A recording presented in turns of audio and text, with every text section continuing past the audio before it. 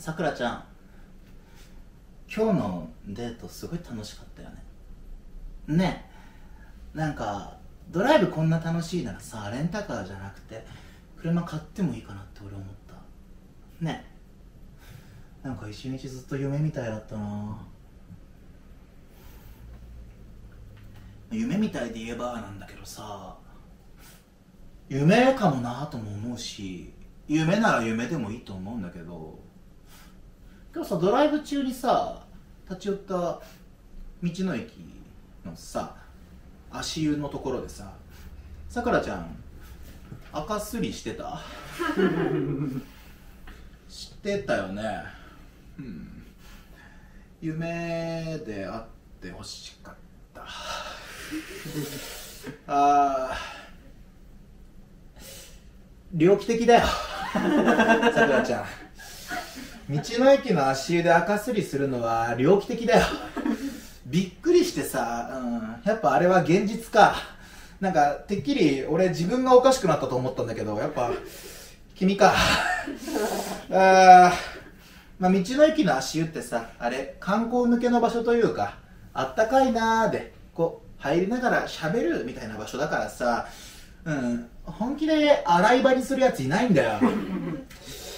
もう横でささくらちゃんがほら足湯入ってすぐうんこのここの角度がどんどん鋭角になったろ。あの時点で俺おかしいなって思ったのよ。道の駅の足湯ってみんな鈍角だぜ。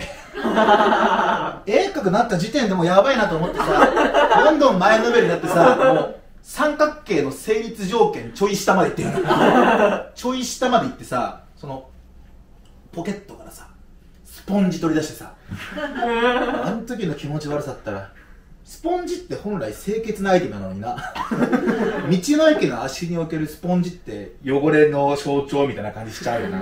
すごいなと思って。でスポンジでまあこするこするこする。びっくりしたよ俺。ガンガン人の赤が浮いてくるの初めて見た。水面に赤が浮いてさかえって宇宙みたいだった。かえって天の川のようでさなんかわかんない精神状態によっては綺麗って思ったかもしれない、うん。まあ、ミルキーウェイだよね。アメリカ人が言うところの。すごいものだなって思ってさ。でまあその後だね。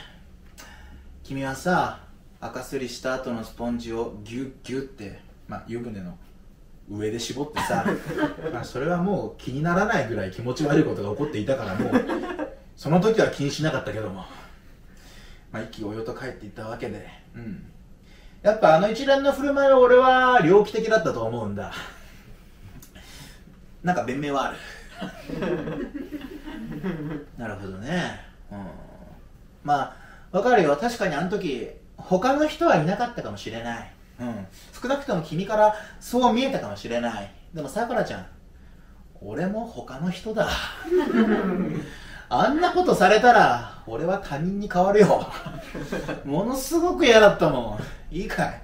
僕と君を天の川が隔てたんだぞ。そしたらもう他人だろう。織姫と彦星になってくるだろう。そんな奴とはもう1年に1回でいいよもう。嫌なんだもん。人によってはもう絶好案件だからな。まだ俺受け入れてる方だからな。本当にさ、非常識だからもうやめてくれたらそれでいいから。非常識ではあるよ。非常識ではあるって、それは認めよう。いや、ちょっと待って。え、そんなに言うならさ、友達に聞いてみ？友達に聞いてみ？あの、今日、道の駅の足で赤すりしたら彼氏に怒られた？これどう思う？って聞いてみ？聞いてみ？試してみ？10人ぐらい聞いてみ、うん、実際には聞くな。やめた方がいい。やめた方がいいこういう関係が減るからよくないよくない。よ くない。なんか新手の試し行動みたいなのあるからやめた方がいい。やめた方がいいやめた方がいい。絶対やめた方がいい。うん。どっちみち今後やめてくれたらいいから。な。うん。だからカップルの約束と増やそうだ一つ目、うん、お土産は偶数個買ってくる。二つ目帰りが遅れる時は連絡する。3つ目道の駅の足湯で赤すりしない。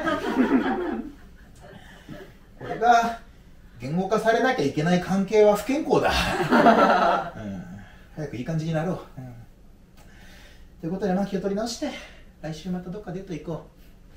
どっか行きたいとこある、うん、温水プールか。すりそう